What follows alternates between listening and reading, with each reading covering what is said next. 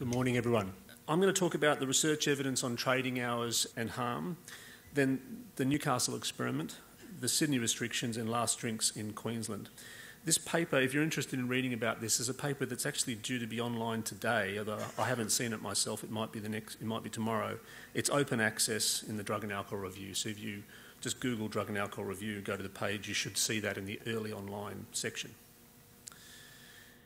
So the, the research on trading hours um, up to 2009, when, I started to, to think about this, mostly relates to ex the extension of hours because that's what's been happening over the last few decades until quite recently. There's been a general liberalisation and uh, deregulation of the alcohol market in most um, high income countries. And there's some very good work by Professor Tanya Chikritzhs from the National Drug Research Institute in Perth on what happened when Western Australia, uh, in fact, mainly um, changes in Perth, um, extended, uh, permitted extended trading permits. But just notice the time from 12 midnight to 1 a.m. That happened in the 1990s, and that looks very tame compared with what we've got in the like in New South Wales, where 24-hour trading has been uh, common and still occurs in some parts of the state, and where we're still talking, we're arguing about whether 3 a.m. or, or later is, is, is an appropriate time to stop serving alcohol. The rest of the evidence concerns unusual, important but unusual conditions. Um, border crossings, in, for example, between the US and, and Mexico, where there are towns, uh, San, Di San, Diego and Tijuana are a good example, with large populations on either side of a, of a border, where people travel across the border in order to access cheaper alcohol, or in the case of the US, to go to Mexico if you're 18 to 20, where you can buy and drink alcohol. Uh, and also, there are some border crossings in Canada and between Canada and the US which have similar dynamics. And they're important, and there are definitely effects of um, more liberal trading on one side of the border, drawing people across and often getting into more trouble as a consequence because they've got to, they've got to drive, they end up in situations uh, that are higher risk. And of course, they're exposed to greater alcohol consumption. The other area, which is important to Australia, is uh, remote communities. And there's work from Halls Creek, for example, and Fitzroy Crossing showing the effects of restrictions in access to alcohol via trading hours and other mechanisms have large, produce large reductions in alcohol-related harm. But these are not particularly relevant to the urban policymaker, um, you know, such as the, the, the, state government of New South Wales in, in re regulation of metropolitan areas. So a systematic review conducted by an, Austra uh, an Australian, Tim Stockwell, and, and Tanya Chikritzhs. Um, Tim Stockwell now in, has been in Canada for a long time now. Um, examined this literature um, systematically and examined, four, they identified 49 studies overall, but the 14 controlled studies, that is where there were observations before and after the change and in at least one control site, um, covered five countries, and they, they found that the balance of reliable evidence suggests that extended late night trading hours lead to increased consumption and related harms. Another study conducted around the same time in the United States split the evidence into two groups the studies that examined changes of more than of two or more hours, um, which are quite big changes, and the studies of changes of less than two hours. And in relation to the the bigger changes, they find there was sufficient evidence to conclude that increasing hours of sale by two or more hours increases alcohol-related harm. The evidence was insufficient to determine whether increasing hours of sale by less than two hours increases excessive alcohol consumption. So just note that that's um, not evidence of no effect. It's just uh, a problem of insufficient evidence. The quality and, and, and, and uh, volume of evidence was not enough to reach a firm conclusion. So systematic reviews are done in a way that permits the reader to trace the lineage of the inference that's being made at every stage of the inclusion, the identification of literature, the assessment of bias in that literature, and then the, the way that um, literature is synthesized. So these are, these are robust studies. But the, the, the, latter finding is important for us because the changes that have occurred in Australia have been of less than two hours. Since 2010, we've had studies in four areas. We've got the Newcastle experience, really important work in Norway, which I'll tell you about, a study in Amsterdam where hours were in, uh, increased, and then the most recent experience of Sydney. In Norway, um, in the first decade of this century, municipalities were permitted to uh, some authority over trading hours within a band of 1 to 3 a.m. So they could increase or decrease, it was up to them. And many, many authority, many municipalities um, made alterations in this time. There were 18 cities that made changes, some extended, some restricted, and some extended and then restricted, having seen the problems of extending them. And the bottom line is that in eight cities with extended hours, so this was um, up to two hours, in some cases it was as little as half an hour, they found a 20% increase in assaults per additional hour of trading. And conversely, in the cities that restricted hours, they found a 16% decrease in assaults per hour of restriction. So fairly symmetrical as a rule of thumb, 20% per hour of trading. In Amsterdam, they went the other way, and this is a contemporary, uh, you know, a more recent confirmation of the systematic reviews I've just told you about. They increased in, the, in central Amsterdam, trading was permitted to increase till 5 a.m. and weekends and until 4 a.m. on weekdays, changes of one hour. And they found a 34% increase in ambulance attendances in the central city relative to surrounding areas. So then we've got the Newcastle experiment, which I, I, know many of you will know something about, but let me just lay it out for you. Newcastle, a lot of people don't know much about Newcastle, especially those from outside of New South Wales, but it's a city of half a million people, um, making it the sixth largest city in Australia. It's 150 kilometres north of, of Sydney. In 2000, late 2007 and early 2008, the police and, uh, and community made a complaint to the state government about high levels of crime from pubs in the CBD, the Central Business District of Newcastle. This was under the Liquor Act of the time, and I've got a picture of Tony Brown here, um, who I paid tribute to. I'm not trying to embarrass him, but I, th- I think it's no exaggeration to say that I wouldn't be standing here giving this talk and that none of this stuff would have happened without Tony's efforts. And there's an, some important lessons about that. One, that community advocacy can be enormously effective. It can change things at the state level, national level. Um, but it's incredibly difficult. I, I, don't know how Tony um, manages to continue to do what he does, and I just am grateful to him for it. But we need to find ways as a community to enable um, that sort of activity and to remove some of the barriers to it because it, it's not something that um, most people are willing to accept as a burden. So the consequence of these complaints was that the Liquor Administration Board, which was a, um, a quasi-independent judicial authority, was a court, um, forced 14 pubs to close earlier. So they had to close at 3am where they'd been trading up till 5am and have a 1am lockout or one-way door. I prefer the term one-way door and there's an important distinction. The laws get talked about generally as lockout laws. Lockouts are one element of them, and we really need to get rid of the language. It's, it's unhelpful. It's uh, lockouts. Uh, we don't have good evidence that they're effective. Um, what's effective is restricting the, sa- the sale of alcohol, the consumption of alcohol through stopping the sale. So last drinks, um, closure or last drinks, but I think last drinks is preferable for various reasons.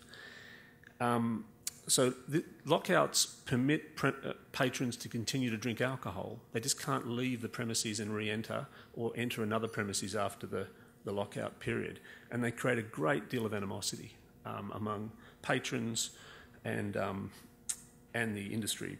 Well, I care less about that, but the, the, it, I'm not sure that we um, really need them to produce the effects.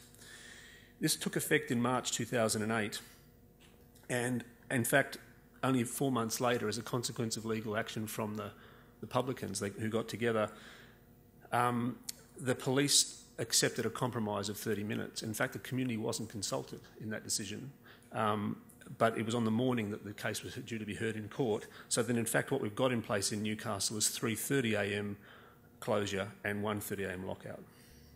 So this is the Newcastle area. Um, so you've got this strip of a few kilometres here where the, the central business district is, and the, the circled uh, little circled houses are the licensed premises that were subject to the restriction. The ones that are not circled did not have late trading um, licenses. Now, what's extraordinary about this and what made it a useful experiment from my point of view as a researcher was that the neighbouring area of Hamilton, just a few kilometres away, um, was left untouched. It has late trading hotels, five of them along this strip here at Beaumont Street, and it was not subject to restriction. Now, I don't think that this was designed as an experiment, but you couldn't have done it better if you were planning it that way.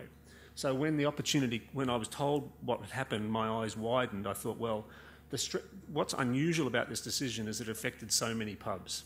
The Liquor Administration Board had done this one pub at a time in the past, but that the signal is just not big enough to pick up with, with aggregate data for, for the whole area. So um, uh, to see it applied with likely to produce a strong signal and to have a comparison site to rule out competing explanations such as changes in economic conditions, the GFC occurred in this period, um, was really quite remarkable. This is what the data show. The um, red triangles are the Newcastle, they, they, represent a quarter of counts, so there are, there were around 100 assaults per quarter in Newcastle before the change, which came in at this dark, this thick line. In Hamilton, it's a smaller area, um, fewer pubs, fewer patrons, but you can see there's just a gradually, slowly increasing trend in Hamilton as well. A lot of the volatility in this series, I mean, it's, it, it's um, partly to do with scaling. If you put them on the scale, the same scale, the volatility would be more similar between them. The bottom line is that this is a highly seasonal and, and variable um, phenomenon. Now, the intervention occurred in March 2008, and you saw a reduction within the first 18 months of 37% relative to what happened in the um, control area where there wasn't really any change in Hamilton. And then continued reductions overall. You can see that now, in fact, we've got data up to 2015 I've, uh, we've published.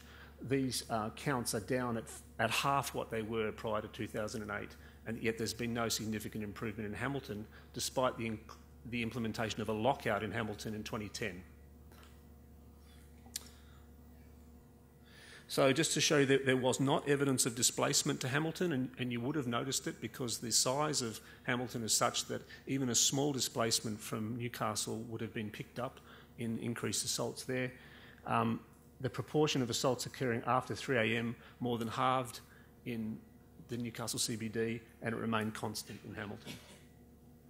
So people were not simply going from the CBD at 3am or 3.30am to Hamilton to get into uh, to assault people there. Okay, Sydney and King's Cross, as you know, the, the Newcastle findings were used extensively in the argument for, for Sydney, but there were much more bigger things that, that probably gave rise to it. Uh, Thomas Kelly here, um, he was 18, he was walking in King's Cross with his girlfriend um, at about 10 pm and was punched without provocation without um, uh, notice and died uh, a couple of days later in hospital. Um, the assailant was, was intoxicated, but he was also a serial offender who'd punched three other people that night. In, I, I think Thomas might have been the third of the four um, in between, you know, uh, Oxford Street and, and King's Cross. There were other high profile, uh, so that was July 2012. There were other high profile, serious, non fatal incidents over that period. You'll remember if you're in Sydney that this was in the papers fairly continuously in that time. Um, but government insisted it was doing enough. Uh, it came up with the usual mantras no silver bullets, no one size fits all approaches. This is about individual responsibility. We need culture change, whatever that is. Um, and Sydney's different to X, and you can put anything you like in X. But Newcastle, um, you know, Queensland, and I've heard it from Queensland, by the way, when we went to give evidence in the Queensland Parliament, they said, you know, Brisbane's not the same as Sydney. And so you'll always hear um, excuses for inaction. That's what they are, because the evidence is clearly um, generalisable to other um, jurisdictions within Australia. Here's another one of the heroes of this story. This is Dr. John Crozier, a vascular surgeon at Liverpool Hospital, and he's been a vocal, um, a vocal advocate for uh, law reform, um, and uh, who's used the evidence, who's continually argued that the evidence be used, and as a, as a surgeon who's dealing with trauma, he has considerable credibility, and in fact, he's one of many um, in that in that profession that have brought about change in New South Wales and other parts of Australia.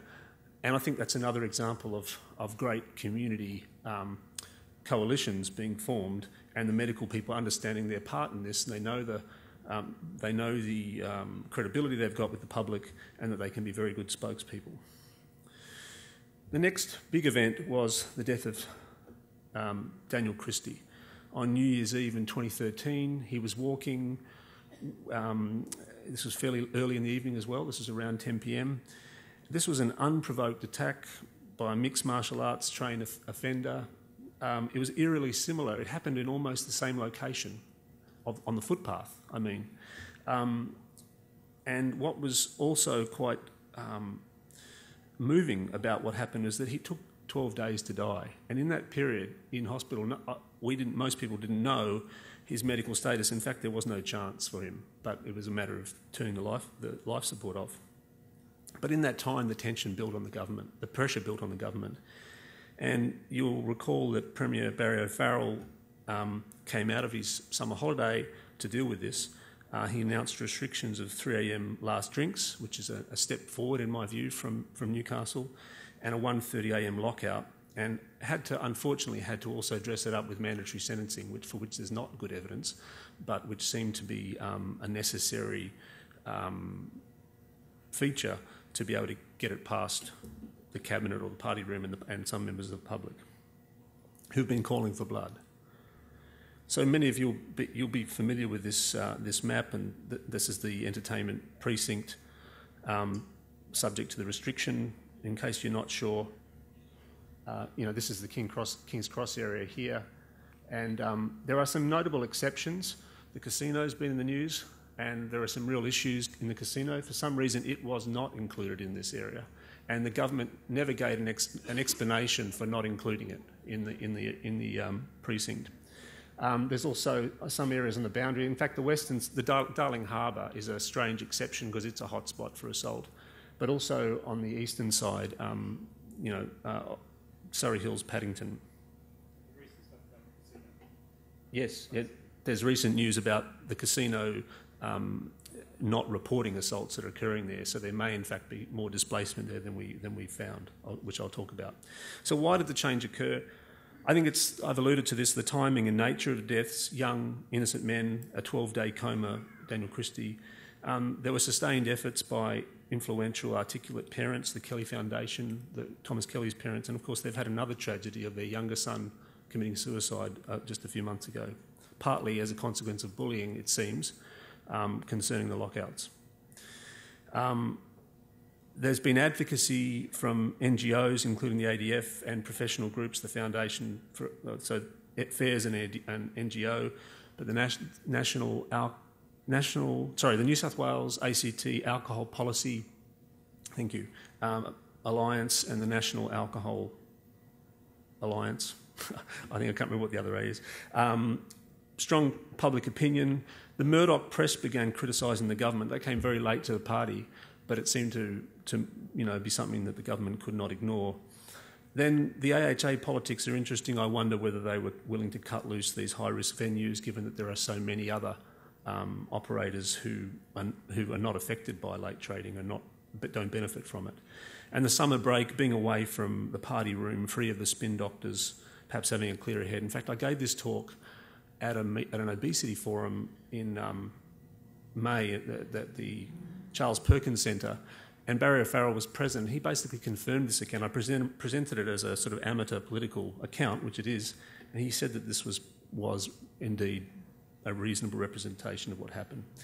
That um, there was also policy relevant research and advocacy for its use in, in policy formation, but it plays a bit part. Here's what has happened in Sydney. There's been a 45% reduction in assaults in King's Cross, that's a reduction of 13 per month.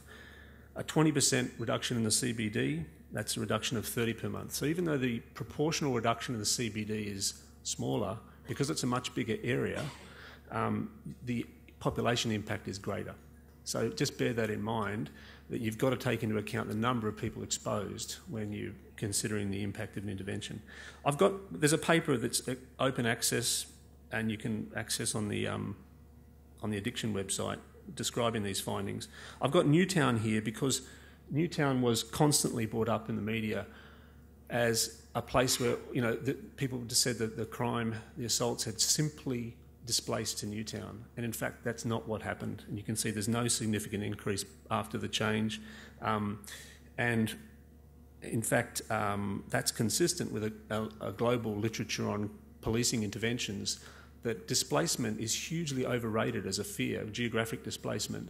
Um, in fact, what you generally find is diffusion of benefit, that is, reductions in the neighbouring areas, not increases. Um, the one exception is the Star Casino, where we've found, and this is in the paper, a two assault per month increase.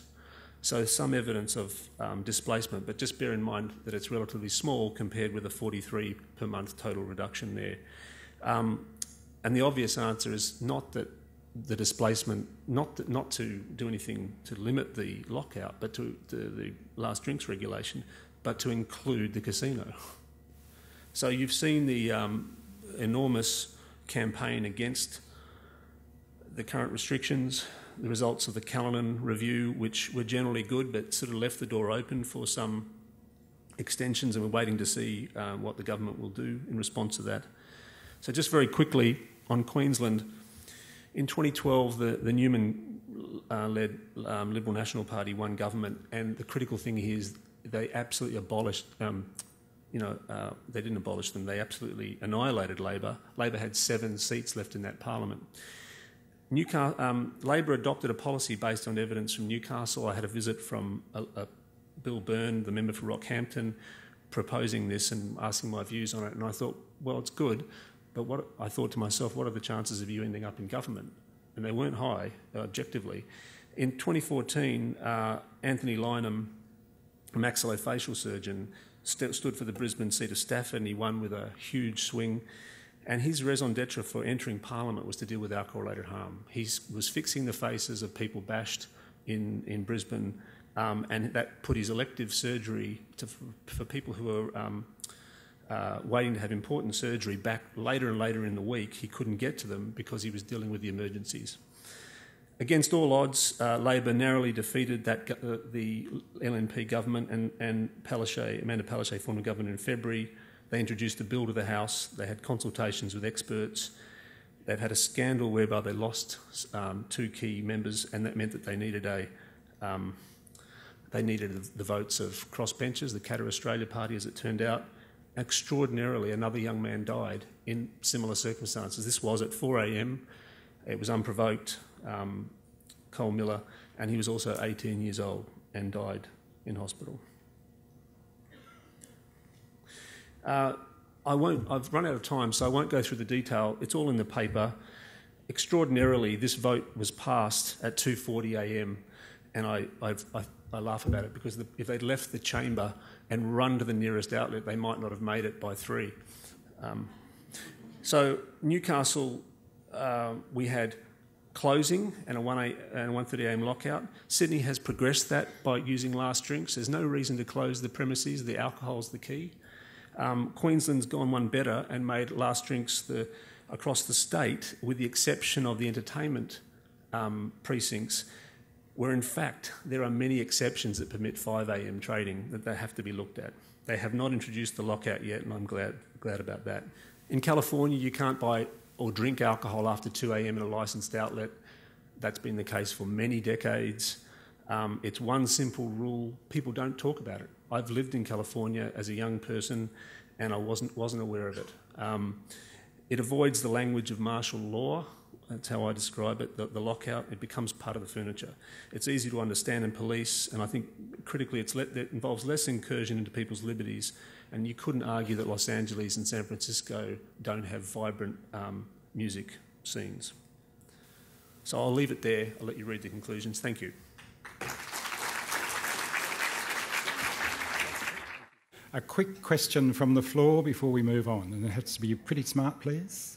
I just wanted to know the assault stats. Um, are they related specifically to assaults on the street, or does anyone has anyone looked at the correlation between DV assaults, for example? So, what I'm wondering is, do we know whether okay, so they're not allowed, they can't hang out anymore on the street drinking alcohol. Do they all go home and bash up their wives and girlfriends instead at home? Like, is there any correlation between in-home assaults?